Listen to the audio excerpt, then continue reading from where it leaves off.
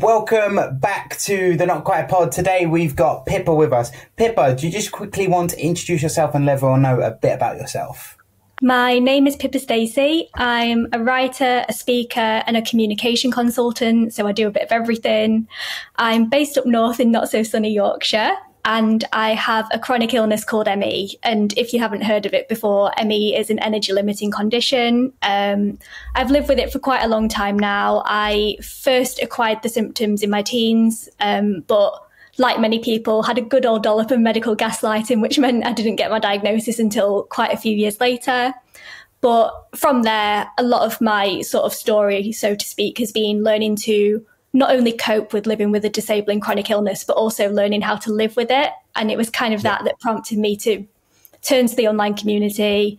I saw other people sharing their stories. I thought, oh, yeah, I'd like to get in on that. And everything kind of grew from there. And that's a very whistle stop tour of how I ended up here. Just, I wanted to dive into a little bit more. Like, I always like to get the context of how people grew up, their journey when they were growing up, just sort of because I find that it often shapes where people tend to gravitate towards. So, what was growing up like for you? Well, prior to the age of 14, I was living a very different life to the one I live now. I was actually in training, in intensive ballet training. I was going down a pre professional route. So I had gotten into a ballet school and I was very much on the track to hopefully developing a career in dance. So I was doing crazy long days, um, very intense training at a very young age. I used to leave school in the afternoon early and then drive to Leeds about an hour away. I used to eat my dinner and get changed in the car into a leotard and try and do my homework, dance all night, come home, go to bed, and then do it all over again. So it was definitely a lot. And um, I think part of the reason it took me quite a while to figure out what was going on with me and figure out that I actually was living with this condition was because when you're brought up like that, you're very much trained to be of a specific mindset. And that is that no matter how much pain or discomfort you're feeling, you have to push through. You have to ignore it. If you want to be successful, that's what you have to do. Yeah. Um, so when I did start feeling a little bit, I say a little bit, when I did start feeling unwell with my symptoms, even though they were mild to start with, I was very much of the mindset like, oh, you've just got to push through. Strong people push through. Um, so yeah, that very early on was very different to how it was from that point onwards. Wow, I did not know that, and I've known you for quite some time. I did not know that you started in dance. there you go. You learn something new every day. it honestly, it feels like a whole like separate lifetime ago. So it's I always hmm. forget that people don't know it, but it's like a almost like I lived a completely different life. So that's yeah. my fun fact for you. there you go. I mean, so I'm guessing it was a case of the symptoms got slightly worse, and then you decided to start looking into how to best go about or looking for a diagnosis and looking for answers. Obviously, at that point, you wouldn't have known what it was. But yeah, yeah. what was that journey like? Uh, wouldn't recommend it.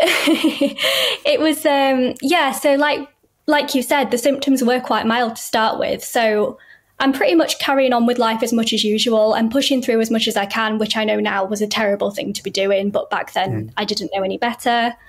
And I started going to my GP, but I found that I didn't really have the language to explain what I was experiencing. So I was saying, I feel really tired and run down all the time because I didn't know how to describe this like really strong feeling of malaise and weakness and fatigue. Like when you're a teenager and you're in a doctor's office with an authority figure who clearly thinks that you're making it up, like you just don't really have the language or the confidence to express yourself in that way. So yeah. they would kind of like they did routine blood tests and they all came back normal, and that was that. So at that time, they attributed it to things like teenage hormones, like maybe stress over GCSEs. And I was like, oh no. But that carried on for three years and it was progressively getting worse. My symptoms were getting more and more difficult to live with. But because I'm me, I was just trying to ignore it, trying to carry on. And then another thing you might not know about me is I used to do a lot of work with kids and I was actually um, it was the summer between my first and my second year of university, and I was in Greece working on a kids' holiday camp. Wow. Um, and that was the point when my body broke. That that point, that specific scenario was when my body went, you know what? No, I'm done. I've had enough. this is when we're going to have a meltdown. so, would not recommend. But no. um, I was like I was 19 at that point, and as horrible as it was, that was the thing that finally prompted the GP to take it seriously. And I finally got the referral to a specialist service for ME, and that's when I finally got that diagnosis. Wow, I, I, I, just the idea of being in a foreign country and then your body having that kind of meltdown, shutdown. Yeah, no, no, not for me. I think the only place I would feel safe is anywhere like medically advanced, but then also it's the whole thing of accessing that while abroad. No, no, thank you, no, thank you. Absolutely. Um, so, for those who don't know, what is ME? It is, uh, I'm trying to think, it's a difficult condition to describe. And in the past, the media has done it quite an injustice. So, the way I typically describe it is it's a neurological condition, but it affects multiple different systems in your body. There's not a great deal of research as to what causes it, but it typically comes about after somebody has either had quite a severe post viral illness that they haven't recovered from properly, or they've gone through an extreme trauma like a car accident or some some sort of physical distress. Um, mm-hmm. And the main symptoms are this unrelenting fatigue, and no matter how much you rest, that fatigue doesn't really go away. There's things like chronic pain, sensory overload. You can be very sensitive to noise and light. And then the key thing that differentiates ME from a lot of other chronic illnesses that share similar symptoms is something called post exertional malaise. And that's basically where, let's say you've got a, everybody's got a baseline level of energy per day and it's different for everybody. But with people with ME, if they do any activity, whether that's physical or mental, anything at all that takes them over that baseline level of mm-hmm. energy that they have, they will then suffer and pay the repercussions of that. Not necessarily immediately after, but it'll be 24 hours after or 48 hours yeah. after. And that's when your symptoms just really manifest and they're so much worse. And it's a really horrible experience. Would not recommend. So that's why there's not a great deal of stuff you can do to help yourself and there's no targeted treatment. But one of the key things is learning how to pace yourself and figure out how to work with the energy envelope you have at that time. Yeah. Because I was going to say, because I know from speaking to you that you have to plan so much of you do, what you do based on trying to maintain, like sustain a certain energy level. Because if you over over commit yourself to stuff, it just becomes too much. Yeah, for sure. And for a long time, I was kind of like, oh, it can't be that bad. I'm just going to do the thing anyway and suffer the repercussions. But mm you quickly learn you can't live your life booming and busting in that way if you want to have any hope of experiencing improvement. So it's often the case that you have to make quite difficult decisions and sacrifices. But ultimately, in my experience anyway, and I've had a great deal of luck and privilege on my side as well because I have experienced a lot of improvement. But yeah, just getting out of that boom and bust mindset is one of the biggest barriers to overcome in my experience. I think as well, I'd imagine it's being a young person as well. You want to keep up with your peers. You want to be doing all the stuff they're doing, but you've got the extra consideration. Now, obviously, from my perspective, I've got the uh, additional access needs and to a point, my energy levels, but not to the point you've got. So I can imagine being a young person in that scenario. It's like, oh shit, like how, how do I maintain good relationships with my peers, but also learn how to say, no, I'm not going to have enough energy to do all of these things you guys are thinking of doing. That's exactly it, yeah. And I was still at uni when I was going through the thick of it. So living in a student house, on the one hand, it was it was a positive thing and I still made the best of it because the great thing about living with your friends is that you don't have to use energy leaving the house to spend time with them. So that was really yeah. good and really positive. But then you're also surrounded by this student culture where, where people are constantly going out and doing the mm. things. And honestly, the FOMO I had for the remaining two years of that degree are I, I, I found the FOMO more painful than the physical symptoms sometimes. It was yeah. absolutely brutal. But I suppose you learn to prioritize the things that matter to you rather than what society expects of you. Yeah. I say that like I've finessed that process. It's something I'm still very much working on to this day. but when you have limited energy, you do become much more intentional in how you use it. And I imagine that's something I imagine that's something that's true for you as well, even though our access yeah. needs are slightly different. You do learn to figure out the stuff that matters most to you. Definitely, and like it's it's also realizing how your body reacts to different conditions. So like part of mine is being ginger, and to be fair, actually CP plays part in this as well. Me and heat don't go together, but particularly cerebral palsy wise, me and cold, we are not friends. So mm-hmm. so that's the other balance to me. I also have this weird thing not to turn this into a weird me moment, but I also have this weird thing that I've only recently got over where I don't like, I didn't like wearing layers because it made me feel claustrophobic. So that combined with being susceptible to the cold and being like, no, I'm not going to wear my thermals, it didn't, didn't end well. How do you get around that? How do you get around it when the thing that's going to help you is a thing that also causes annoyance? I, I, just suffered. Let's be honest. I just went, no, I'd rather be not claustrophobic and deal with cramps rather than be claustrophobic. you have to pick the lesser of two evils, which actually I can relate to. When you're playing like access needs bingo, sometimes you have to pick the least bad one. yeah, to be fair, yeah, not just a single out a single brand, but Uniqlo's been a massive help with that because their thermals are really comfy. So yeah. Noted. Noted. So I like go. the M&S ones. I like M&S and I like heat holders. Yeah. But Uniqlo, yeah. okay, that's good to know. Uniqlo have got really nice ones and they look really smart. So like if you want to wear them as an outer piece of clothing, like I've actually got the like their Arctic version that are meant to be for temperatures between like minus 10 and minus 20. And they are, they're really good, but they also look really nice as well. They're actually what, um, cause I know Pippa recently messaged me about going to Prague. They're actually what I was wearing all the time in Prague. So there you go. Oh, okay, that's really handy to know. Actually, I was stalking all of your like posts about Prague. I was like, I need to find all the experience, all the research I can get. I, I think we've abandoned Prague though. We're looking at um. Oh my gosh, where are we looking at? Um, begins with V. It's in Italy. Venice. Ver- Verona. Verona. Verona. That is nice. that is silly, isn't it? I've not just made myself look really silly. I think that is. Uh, my geography is not great. I think that's that's right. I think sounds right. we'll go with that. Hopefully, I haven't made myself look really silly. It's the place from Romeo and Juliet. I do know that much.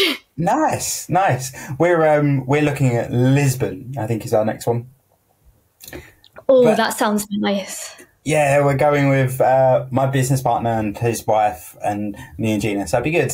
Although we've got a very weird tangent. Anyway, coming back to uh, coming back to a bit more about you. One thing I did want to ask, because I didn't actually know, is do you do you drink, and what if you do? What is the impact of that? Because I can imagine through.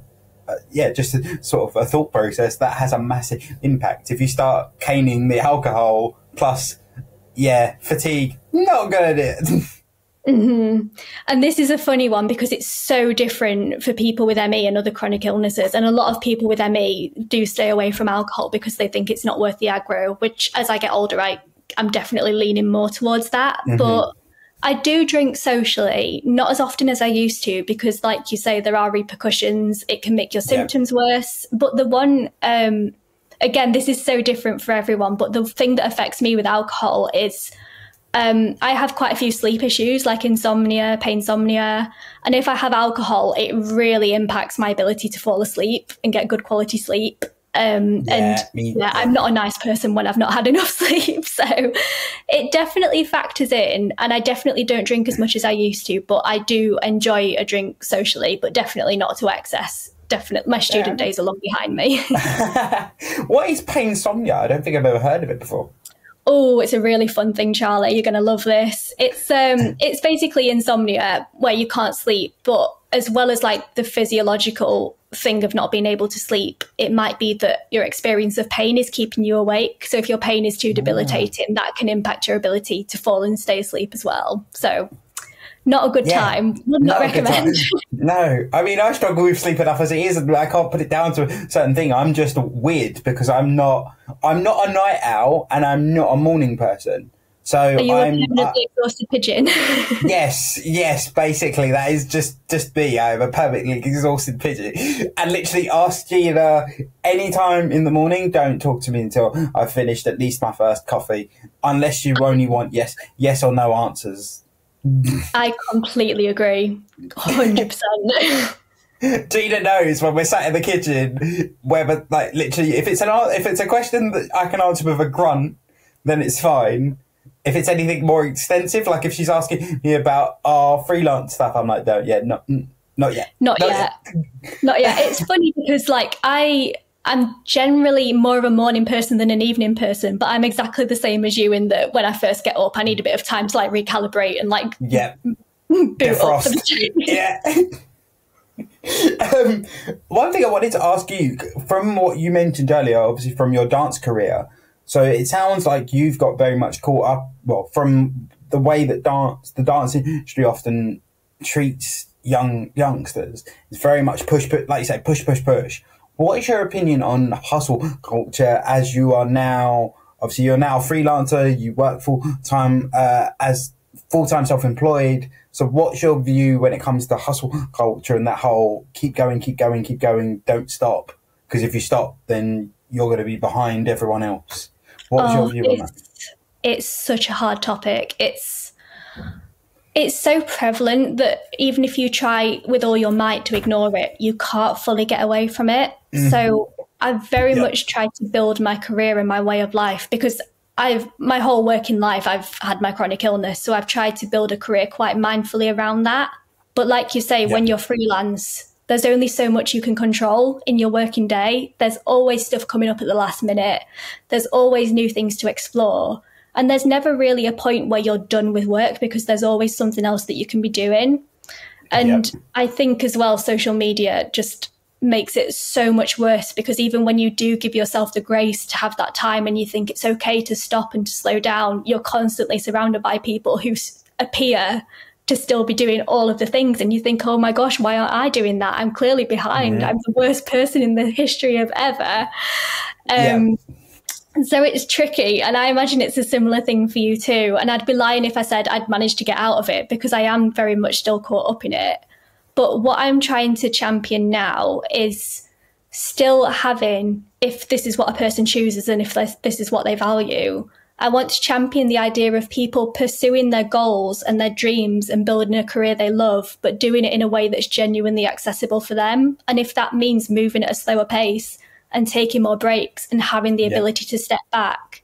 I try and remind other people as well as myself that again, this is not the ideal way to look at it because there's a hint of capitalism behind this, but sometimes having breaks here we go.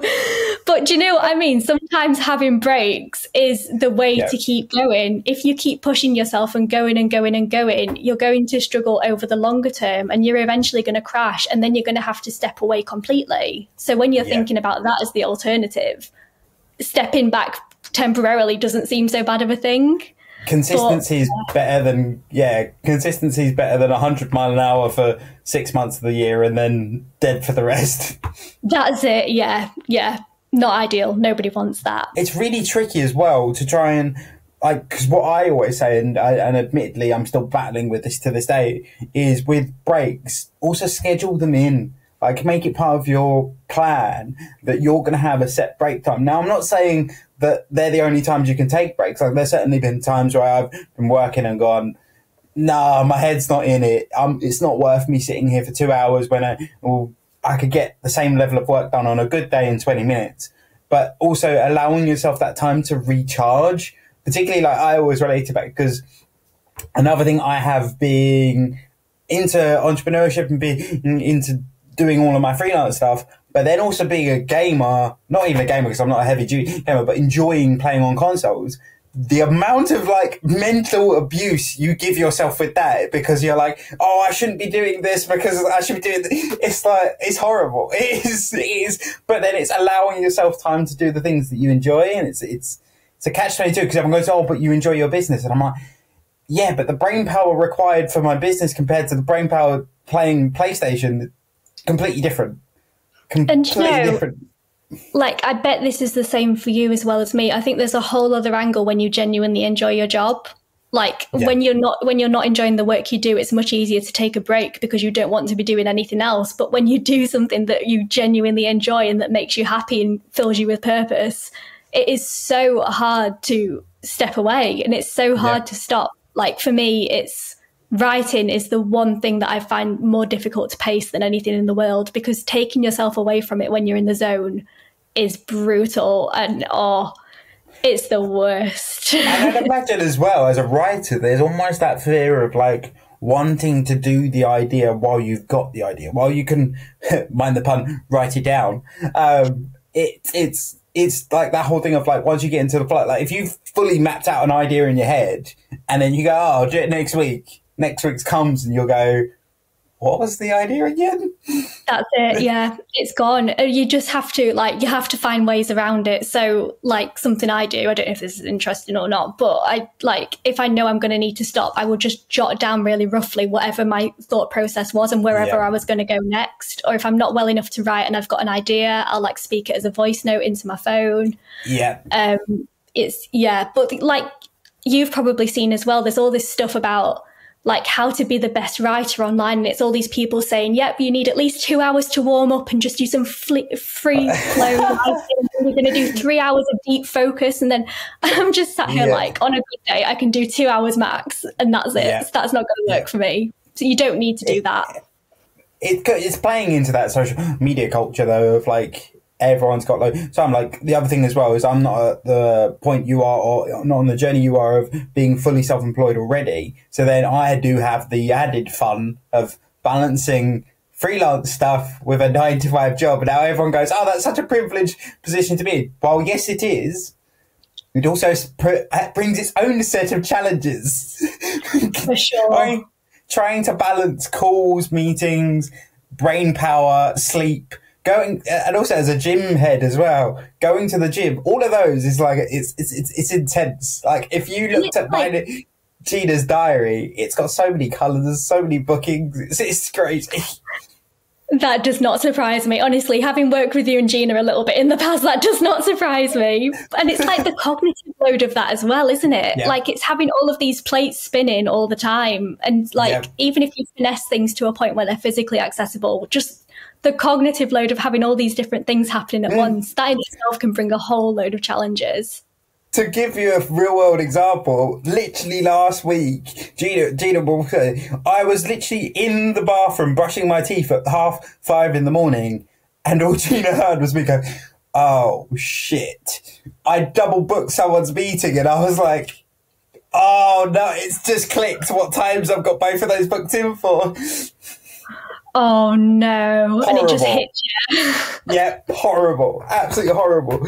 And just because you mentioned it, I have to ask what is your view on capitalism and more so like from the viewpoint of like a disabled person because i have a very conflicting view because i understand that the, there's some issues with capitalism but then also i'm very aware that capitalism is the game that the game that is in play, so we have to play it whether we like it or not because we're not going to be able to change it. So that's my view of like, look, this isn't going anywhere, so I've got to figure out how it works to to, yeah. to gamify it for my own gain, which sounds really like I can't think of a nice way to phrase it, but yeah. So like it's particularly as a disabled person as well because there's an added element of like we have limited opportunities when it comes to career and stuff like that. So then there almost feels like an added pressure for a lot of disabled people to become entrepreneurial freelance uh, self-employed or whatever it might be because they're in their own control if that makes sense.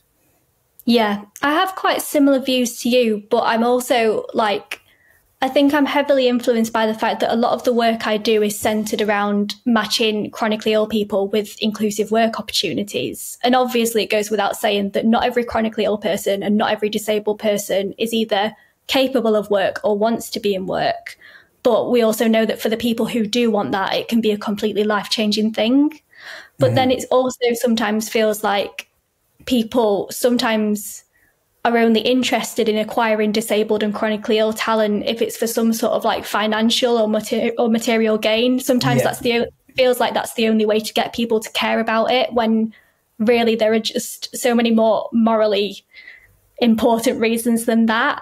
And then the yeah. other yeah like thing I'm on a bit of a journey with at the minute is I this will come as no surprise to anybody who knows me, but I like I am very driven by accomplishments and achievements, and I place a lot of my self worth and value as a person on my ability to achieve. So I think all of that plays I wonder where some- that comes from. Oh, I was a real head scratcher.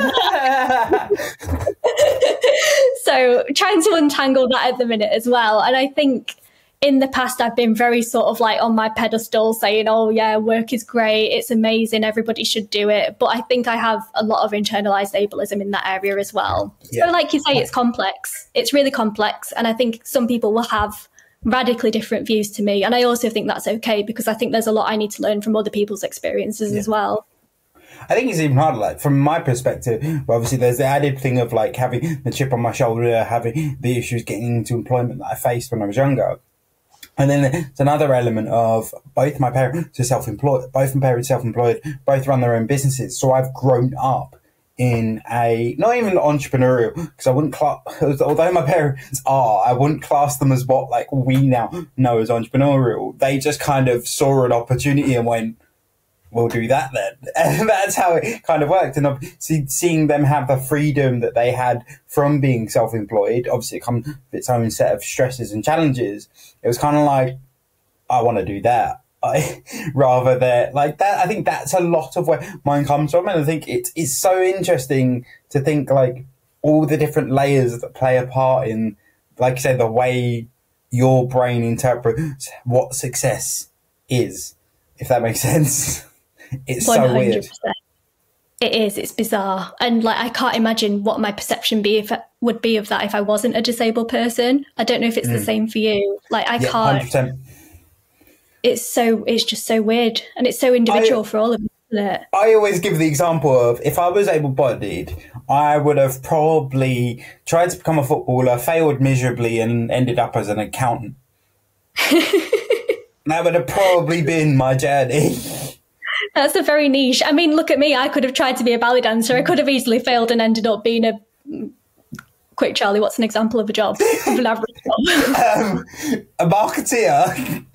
Yeah, working in John Lewis. Oh no, John Lewis is a bad example. I hope I wouldn't have been working in John Lewis.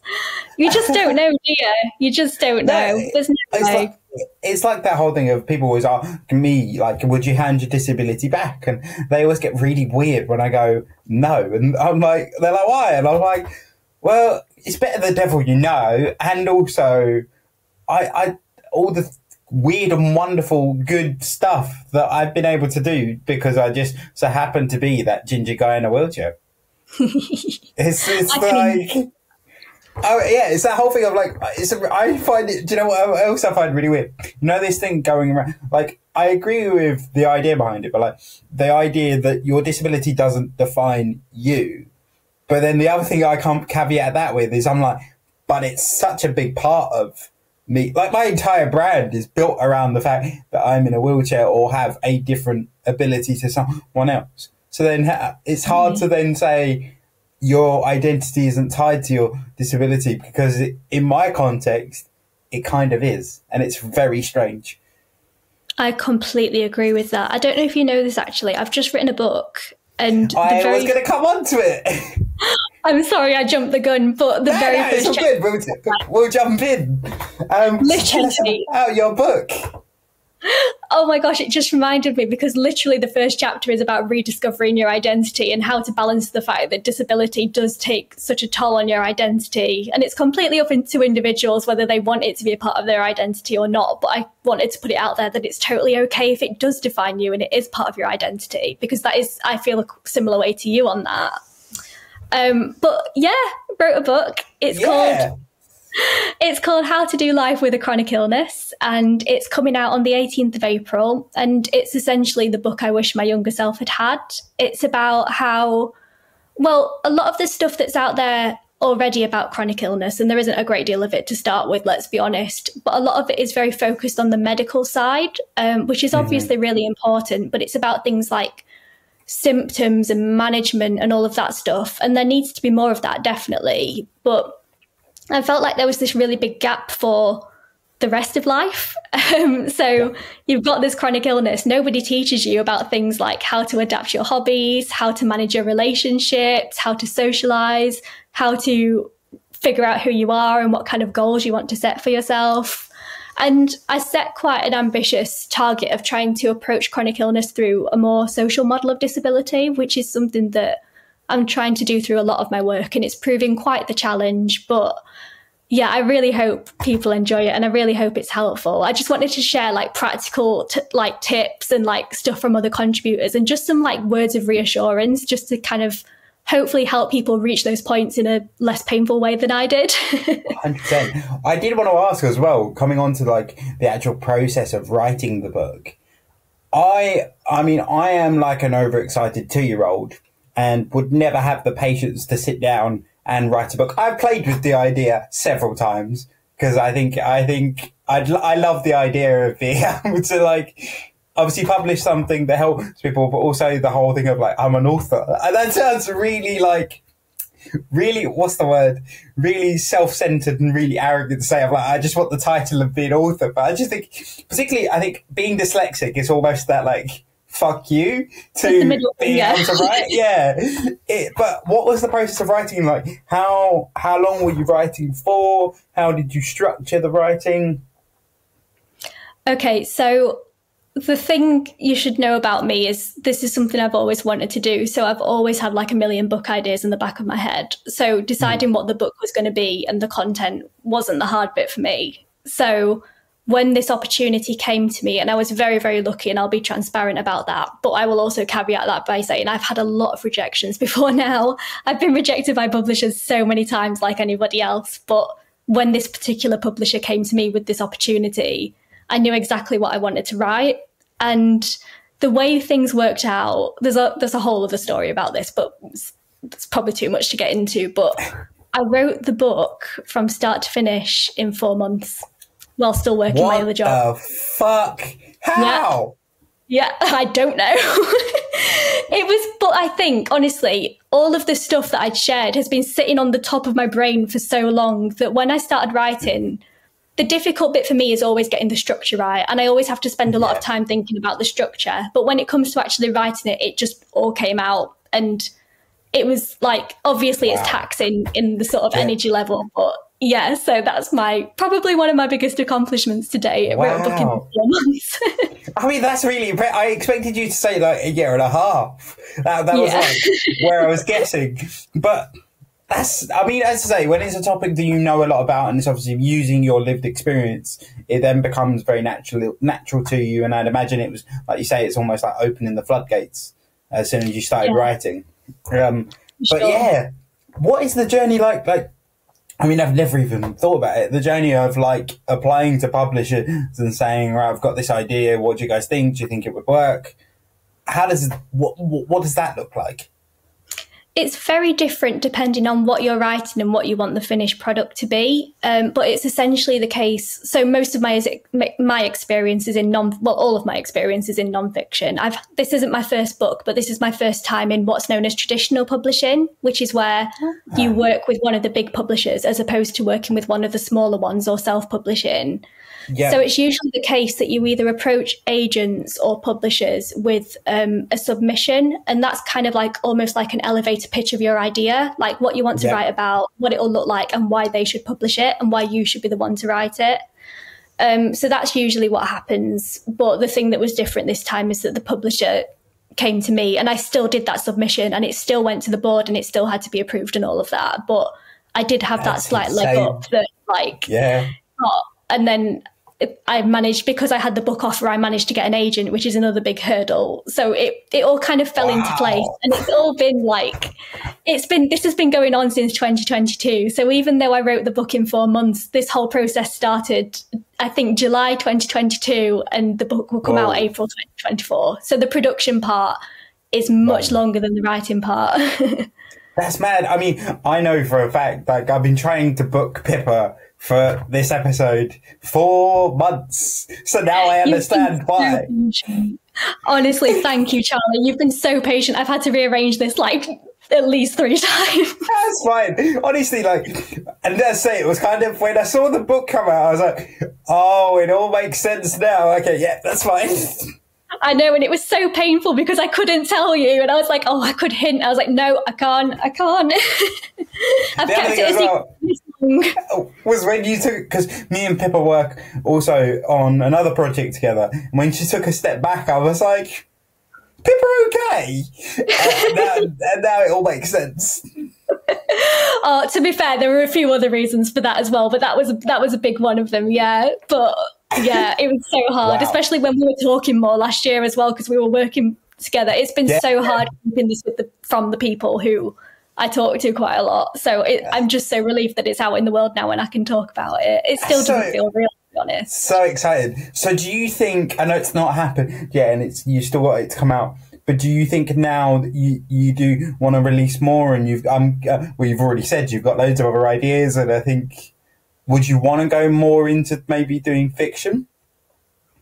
I'm not so sure about fiction. I'm not sure that I'm good enough for fiction, to be totally transparent with you, or at least not at this moment in time. I would love to do more nonfiction if the opportunity comes up. I've got a real mm. interest in narrative nonfiction, so I'm hoping we'll we'll just have to see because even if you have one book and it's successful, there's never any guarantee that there'll be another one, and it's brutal and disabled voices in particular. It's so hard to get them out there, and it's so hard to prove that it's not just this really niche, tiny audience and that there's yeah. bigger market value as well. So there's a lot of struggles, but I really, really hope there's going to be the opportunity to do more stuff like this in the future. Yeah, definitely. The power of the purple pound. Yes. um,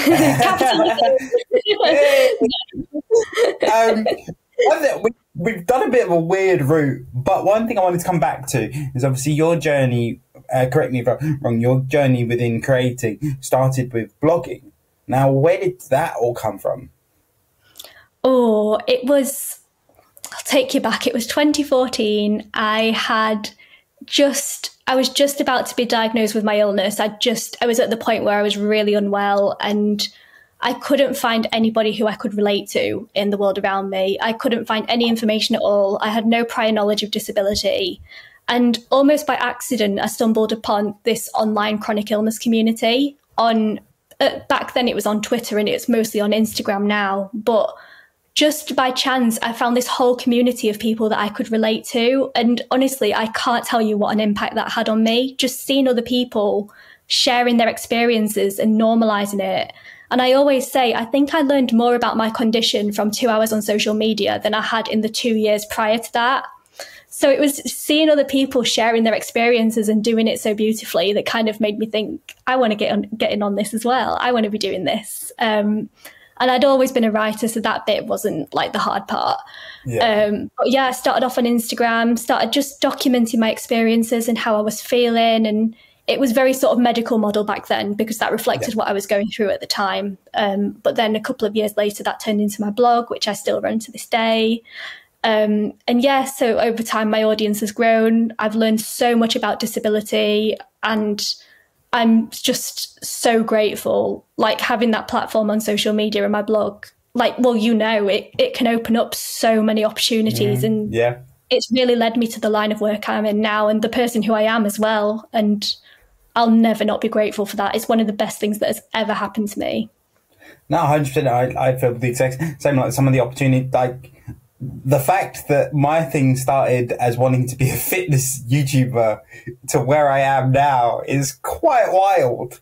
Um, it's, but then, like I say, it's like all the cool people you meet, all the weird and wonderful opportunities you get given, and all the like things you learn just by interacting with the community. It's, yeah, it is crazy. But the other thing as well is I've got a lot of respect for yourself and anyone that does blogging because I blogging was just something I tried and could never I could never crack. Like it never felt natural to me. It never really worked. And like the only to be honest, the biggest thing that's felt natural, weirdly, is this.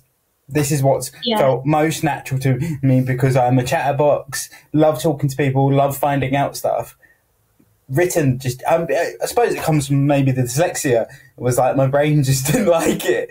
Um, but yeah it's it's it's a hard space to get into but I love watching yourself and others where they they've got to through their blogs. It's it's insane. It's almost like completely different sets of skills for different platforms isn't it? Like yeah. the the blogging is completely even though I write for Instagram and I write for my blog, like it feels like two very separate skills because the way you present the information on different platforms feels completely different and you're talking to a different audience. And I, I imagine it's the same with you for your podcast. Yeah. And like yeah. it's clear like you are good at this. Like I've done podcasts before. You are good at this. You you ask good questions. You're easy to talk to, and it's clear you have like a knack for this. It's just like whereas I, for example, I do the speaking work and I love being on other people's podcasts, but I don't think I would be a natural host like you are. It's just all these different skill sets for different platforms. It's just uh, having the ability to explore that as well. It's just it's a lot of fun trying things out, isn't it? Yeah. I mean, you never know until you try it. And also, thank you massively because a lot of the time I sit here and go, what the fuck am I doing? um, but yeah, it's it's it's honestly, but like the different skill sets you have to have for the different platforms and like the different things that people bring. Like some content I watch creators create, I'm like, I would never have been able to create that, and then someone, it, like, it just comes naturally to them, and it's it is so interesting how different people's brains interpret stuff. It's it's really strange sometimes. So the other thing you mentioned about your speaking and consultancy when did that come into play and, and how did that intertwine with what you're doing now and what you were doing back then as well? How did that all come about? The speaking is such a weird one. I, if you could have told my younger self that I would be a speaker as part of my job, they would have been having none of it. But it definitely happened quite accidentally. I was I always say I was I was lovingly pushed into speaking. I worked with a few people and sometimes opportunities came up where they needed somebody to be speaking or presenting or being the one on video.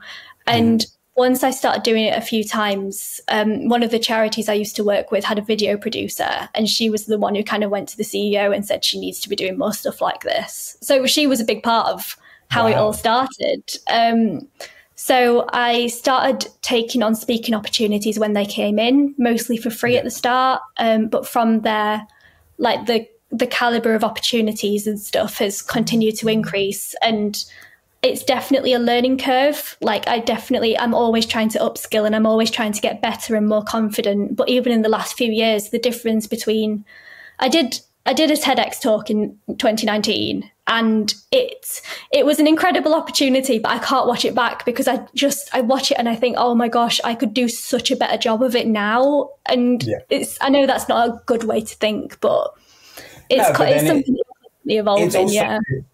You recognize the progress that you've made, and like that's why, like Jesus. I mean, I've not done many major speaking opportunities, but then if you look at my old YouTube stuff versus some of the stuff that I create now, fucking wild. Like, but like literally, I, I watch it and I'm like, what the hell are you doing, boy?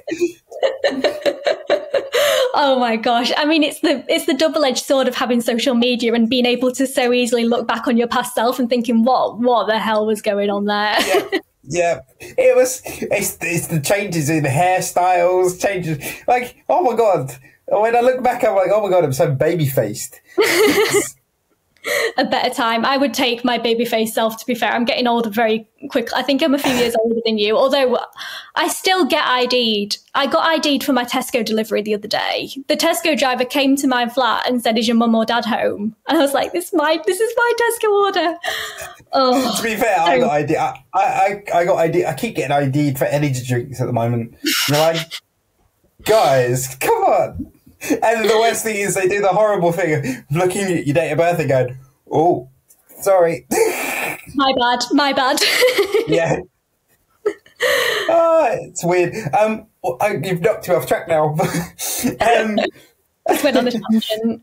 But no, the, the talking thing, like, that's mad. I, I, I didn't know you did TEDx. That, that, that must have been quite an experience to do. It was yeah, it was so scary. It's like I don't actively publicize it anymore because I just I'm not happy. I'm really happy with the content and I would do the content again. I just think I could have done it so much better. So it is frustrating and it's one of those things again where I hope I get the opportunity to do it in the future, but you can never bank on it. So I've just no. I should just be grateful that I got to experience it at all. Um but yeah, um, I'm like my confidence is definitely growing. I was petrified at TEDx. Whereas now Yeah. I would probably still be petrified, but I'd feel a bit more like I knew what I was doing, I would hope. Yeah. I whenever I've done speaking speaking opportunities, my biggest two things.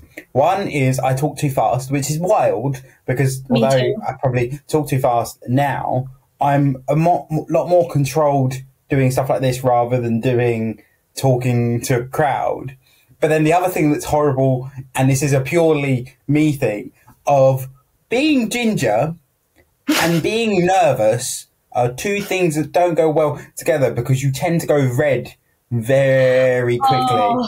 And it shows very quickly. So, like, you're trying to, in your head, trying to make sure that you look professional, but you know you are the color of a tomato, like, chatting 100 mile an hour, and you're going, what am I doing with my life? And the worst thing is, I relate this back to when I used to do my swimming obviously swimming involves no top. I used to come up in like not even I, I'd just be blotchy, but I literally looked like I was just hot and bothered. And coaches would know straight away that I was, I was nervous or worried about something. And it's the same when I do speaking events. My face just goes bright red. I love doing them. Like when I do them, I'm like, oh, this is really cool, and I'd love to do more of them. But I just I need I need to get into a rhythm with doing them, so then I perfect the skill. But Yeah. yeah, every time still petrified. well, that's the thing. Like you, you could feel completely in control, but if your face feels like it's betraying you, that's going to knock your confidence. Even if you Yeah. feel totally prepared, if you think that something's going haywire, that's oh no. It's you're as self conscious as it is when people are looking at you. So that I, you have my empathy with that. I mean, I'm a bit of a myself, but I'm not redheaded, so I imagine it's a whole different kettle of fish for you. It's uh, it's quite weird. And then the other thing, like, I remember I did a talk just before Christmas, and the only reason they asked me to do the talk was I was attending anyway for the the like group discussion roundtable, and the main speaker pulled out. So like twenty Oh. minutes bef- twenty minutes before the talk, the event, they've come up to me and gone, "Can you step in?" And I'm like, uh. Yeah, but I don't know what you want to talk about. Like they were going to talk about their life and everything else. Like my context isn't the same, so I kind of had to make something up on the fly. Terrifying, absolutely terrifying.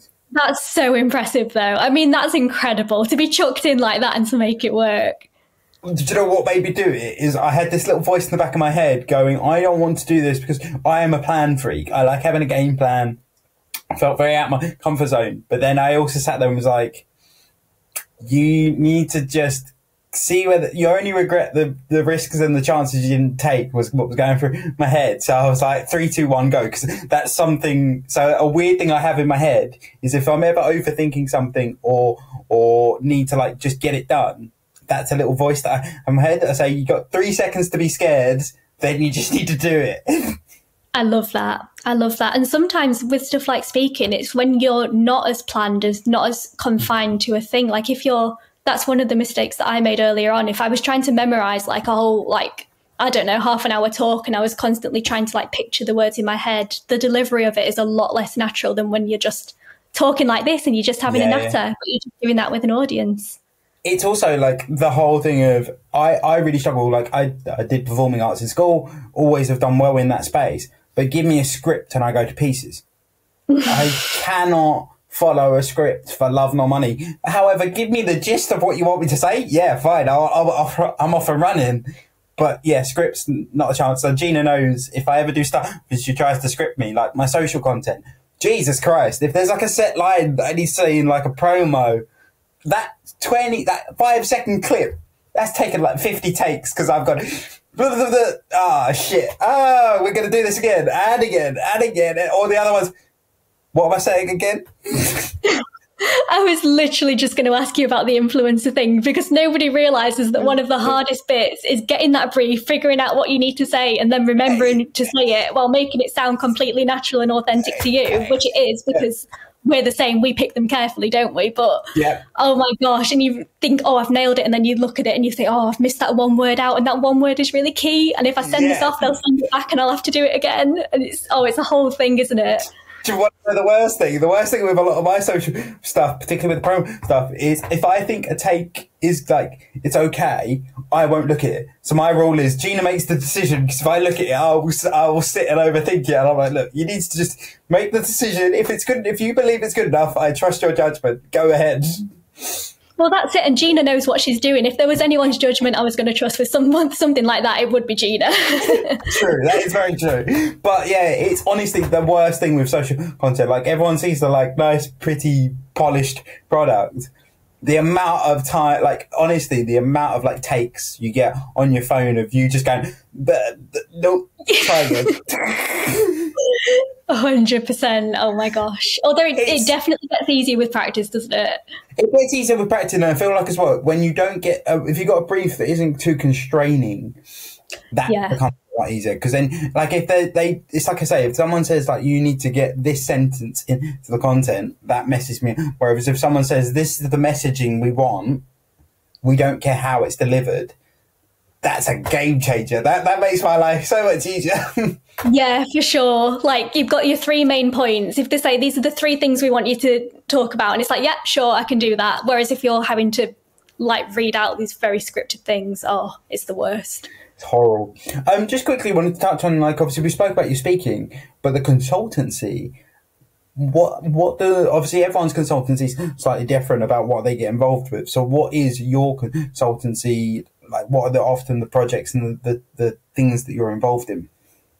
Yeah, so for me, it's less of um, it's not really something that I do like as a freelancer where I go to lots of different clients and do the same thing. It's more that I work with a smaller number of organizations, but um, I'm a communication consultant, which is one of those mm-hmm. terms where you think, well, what does that even really mean? And it's one of those things where it can mean so yeah. many different things. And yeah. it usually depends on the size of the organization. So there are some bigger organizations where the comms consultancy focuses on things like figuring out how to tell the story of this organization, taking all of these like key charitable objectives and figuring out how to make them appeal to people and how to build their online community and stuff like that.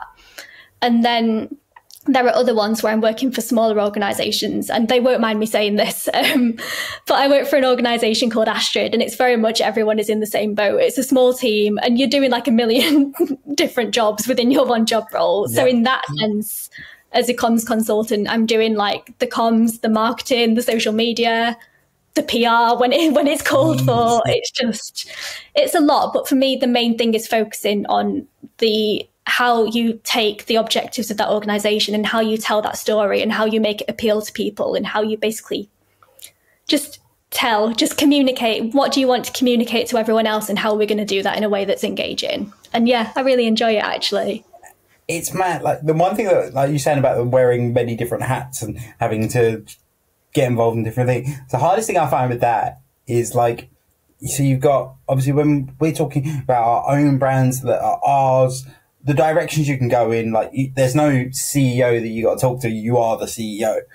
But in that context, I think that's really hard because you've got so many, so many cooks in the kitchen and so many people to please. It's like making sure that everyone's happy and the messaging is correct.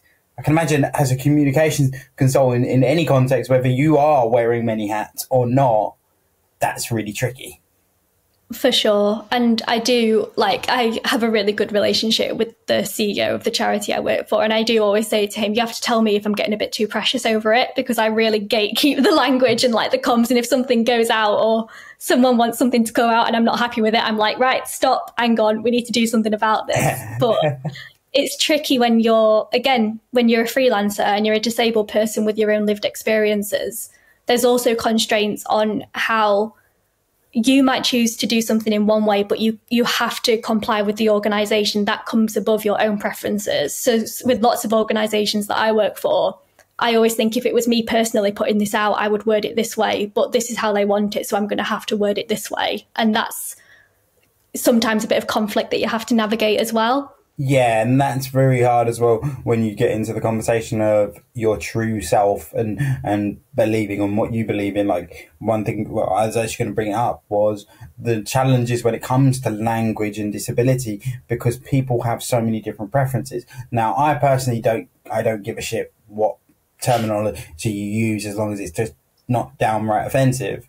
But other people are a bit more particular about the phrasing and the terminology used. And that in communication for businesses then becomes very tricky because that I think is where the issue comes from of the disabled community being quite scary to the outside world of like they're too worried about offending people. And that's actually why we started the not quite pod was because we wanted to have these conversations but having a way of if someone had questions they can ask the questions. I'm not i'm not going to attack them because i'm a believer of I'd rather you say the wrong thing and then I teach you why that's the wrong thing and you understand the context behind it rather than me jumping down your throat and going, that's the wrong terminology. How dare you? So, so how has that journey obviously you've said obviously that you have to meet the requirement of the client and the, the client comes first but in terms of how you've seen the community evolve and the terminology that's used how do you navigate that both as pippa running pippa's businesses and then running it with clients so the way i generally go about it is i have this one stop inclusive language guide that I wrote a long time ago and I'm constantly reviewing. And that is all what I see and what I've learned from the community is best practice for inclusive language at this, ta- at this time. Mm-hmm. Um, and it's it's not i was going to say it's a chunky document it's actually not i've made i've made it as like concise as possible so it's usually the case that when i'm having that conversation with somebody i send that over and i say this is what i see as best practice in the community at this time. This is what I would personally recommend, but I'm happy to take on any of your own recommendations.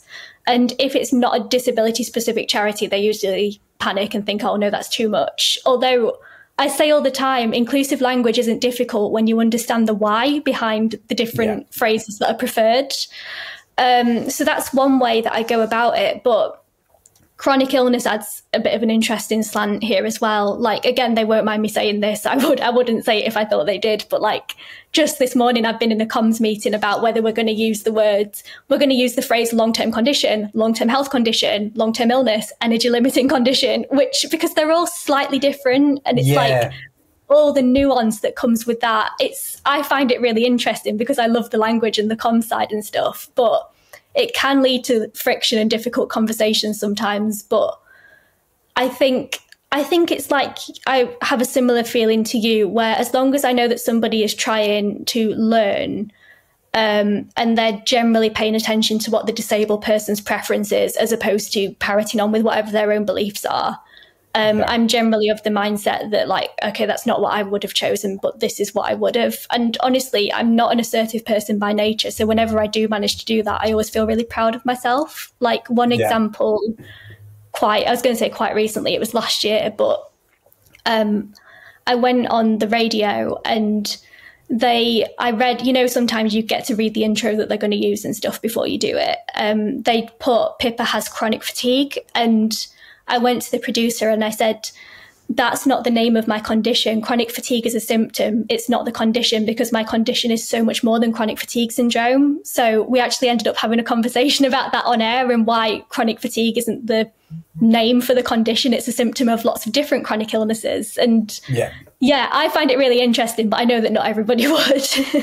no, I do. I, I really enjoy the conversation around commu- uh, language you is what I my biggest thing, and as I said, is is that whole thing of like I just don't. I want to bring the outside community into the conversation where everyone feels safe. The best best times when people learn is when no one feels judged by what they say. If you're in a group and you're like, "Oh, you need to be careful what I'm saying," you're not being you, which then means we're not actually getting a true representation of what your belief system is, what your understanding is. Whereas, whereas I would much rather you go, oh, you're a handicapped person, and I'm like, mm, hang on a minute. yeah, handicap. Although it's fine, like that's a I one thing I find on a bit of a weird tangent. One thing I find really interesting is that words used so much more in the states than yes than here.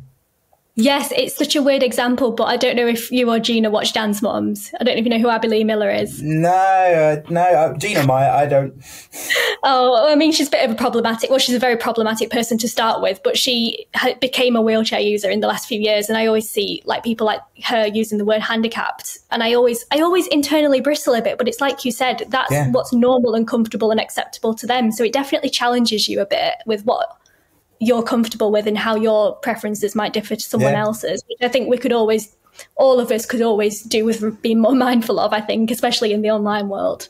I think as well, I think it's just that for me, the ideal scenario is if someone's got a particular way they, the terminology they want to use, if someone uses the wrong one, correct them, and then from then on out, they can try and use it. Obviously, the whole thing of people are going to slip up and say the wrong thing every now and again. There's also allowing that. Now, if someone's consistently doing it, then it is a problem. But if someone's occasionally used the wrong terminology, they're still trying. And if you see them correct themselves, I don't think it warrants then being pulled up on it because you can see that they've realized it themselves. It's, oh, language. I mean, you know it better than I do. Language, I think for me, it'd be so frustrating just because I'd be sitting there like, one thing's right for one person, one thing's wrong for another person, and yeah, it's. I mean, it comes back to my same thing, and, and I think I say it on every episode now. Just call it disabled toilet, disabled toilet. Why do we need to overcomplicate it? Oh my gosh. And it's like there's and I think it's just remembering as well there is never going to be a solution that universally pleases every disabled person no matter what it is, what language it is, what adjustment it is. There is nothing that is universally going to be accessible or inclusive for everybody. So you just have to do the best you can and just remain mindful and empathetic where you can with the full knowledge that there is no blanket solution for any of this.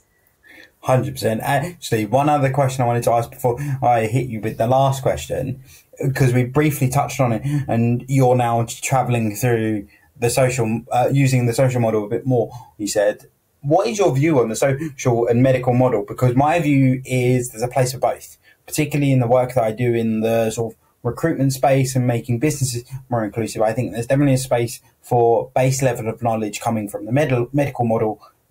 Basically, when I look at it, I, in terms of getting businesses to be more inclusive and knowing what to look for, the medical model works because it allows them to have sort of parameters to work within so they know what areas to be looking. And by that, I mean like if you're dealing with someone like me who's a wheelchair user, you're dealing with physical disability, therefore you're going to be looking in these areas for supporting them. Whereas if you're dealing with someone who's neurodiverse, maybe got ASD, you're going to be looking in these areas. So then it gives them a ballpark to look into, and and then you can do the whole drilling down and going. Actually, this is how Joey's ASD presents so this is what support he needs. Well, then the social model does have an element of if someone's able to access the office and everyone's able to access the office, great, all good, no problems there. But yeah, I think that's where I see it. So there's like links to both. So what's what's what where have you come to since you're doing some sort of exploring of this area? Oh, it's so complicated, and I could talk about this forever. So I'm going to try and keep it brief. but it's it's been such a journey going from having that no understanding of disability and living with a very disabling and stigmatized medical condition to experiencing some improvement and beginning to engage with the world again and discovering those social barriers for the first time and I do wholeheartedly support the social model, and I think the social model is the most progressive thing that's going to facilitate the most change and lead to an inclusive world.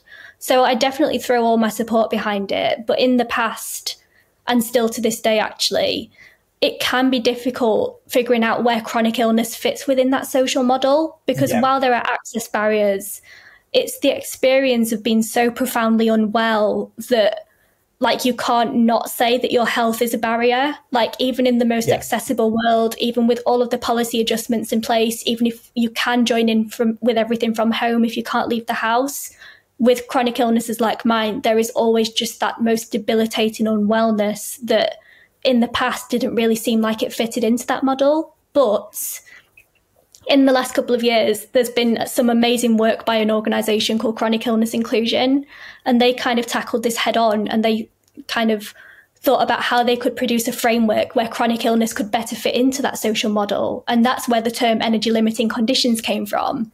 Um, and it kind of posited that as a whole, like specific impairment group within disability. So there's physical disabilities, there's learning disabilities, there's neurodivergence, and there's energy limiting conditions. Mm. So it's kind of like a subtype in that respect. And yeah. Yeah. it's given us like the language and the framework and the fact like you can reframe fatigue as energy impairment. And it's definitely not perfect and it's definitely not a concrete solution, but that I think has been one of the most significant moves to bringing chronic illness a bit more out of the medical model and a bit more into the social model while still holding space for the fact that it is this really medically disabling thing and that health is still such a significant factor. So it's definitely a process, but I feel a lot more comfortable with what's happening now. I feel much less conflict than I did in the past. I think, yeah, like you say, when we were doing the research into um, one of the projects I'm working on, it the chronic illness space and the the sort of variability of that then does make it very difficult. From a educational point of view from educating others on it it becomes really tricky because it as they it presents so different in any individual.